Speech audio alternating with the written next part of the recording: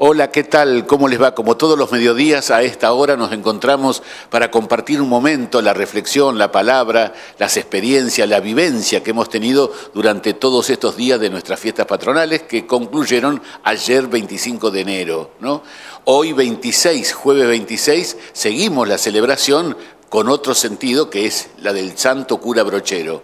Hoy la iglesia celebra al santo cura brochero. Por eso los invito que esta tarde, eh, a las 20 horas, participemos de la misa en torno a la imagen del cura brochero que tenemos acá en la parroquia, bendecida por el cardenal primado de la Argentina ya hace unos, unos años, especialmente para nuestra parroquia. Así que esta tarde a las 20 tendremos como conclusión de todas las fiestas patronales la misa solemne del santo cura brochero a las 20. Los invito porque es nuestro santo argentino, el, santo criollo argentino.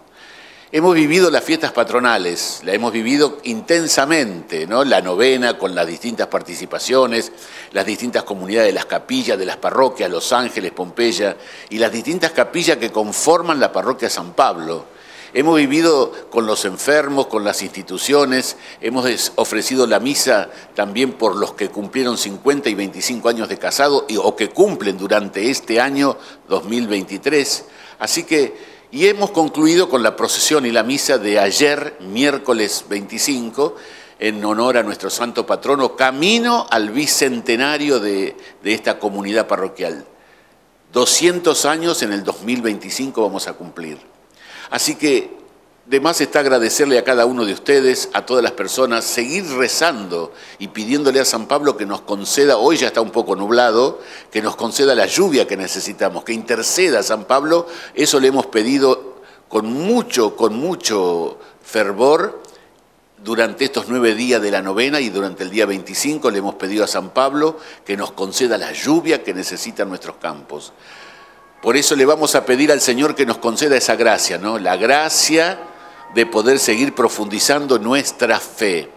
Quiero agradecerle a, todos los que participaron.